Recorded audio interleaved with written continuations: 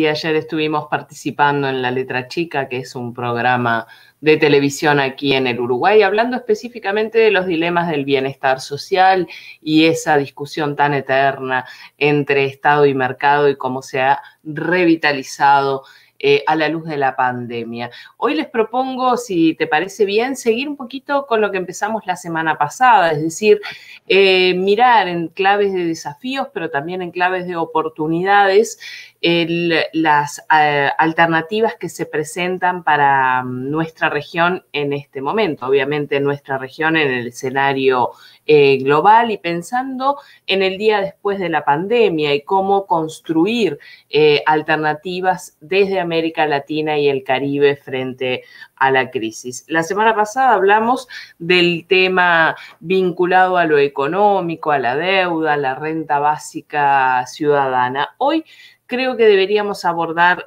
dos puntos, ¿verdad? El primero, la democracia, que tú lo mencionabas recién. ¿Por qué? Eh, a ver, en el marco de esta pandemia que estamos viviendo, los gobiernos de todo el mundo han tomado distintas medidas y en algunos casos eso ha implicado que reúnen, eh, digamos, competencias y poderes de emergencia para poder responder a esta pandemia.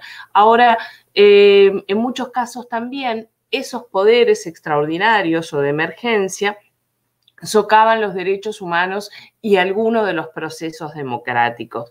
Entonces, eh, el desafío es cómo trabajar en el marco de esta situación sanitaria sin que se desestabilicen las prácticas democráticas, las prácticas democráticas como por ejemplo el voto o como por ejemplo el derecho a la protesta, ¿verdad? Y a la movilización social.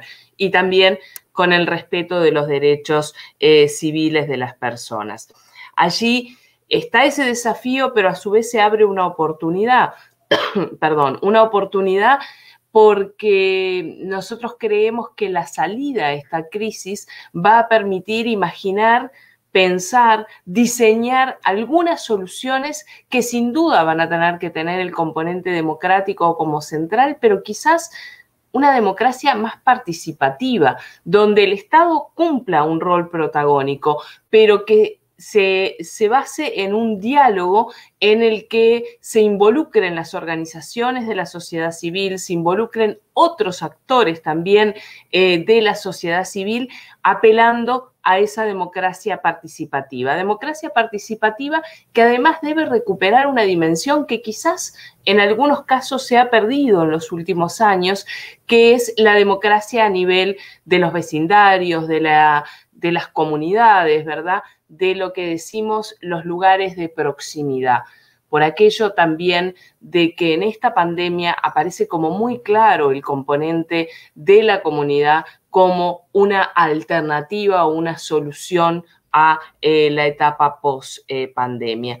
Ahí identificamos también como algo muy importante retomar algunos de los valores de la educación cívica, justamente de la educación cívica democrática, incorporando la solidaridad, la cooperación y no la competitividad a toda costa como valores a transmitir.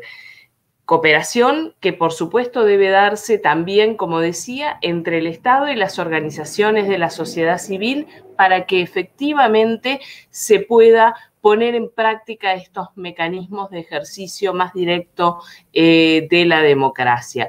Tenemos entonces, una vez más, que plantear la revalorización del rol del Estado, particularmente del, Estado social y de las políticas universales que benefician a todos y a todas en las distintas comunidades, en las distintas ciudades, países, etc. Y eso solo es posible con eh, este refuerzo, digamos, de la democracia. Esa es la primera dimensión. Si tú crees que tenemos tiempo, abordo la segunda. Si no, en tal caso, la semana próxima.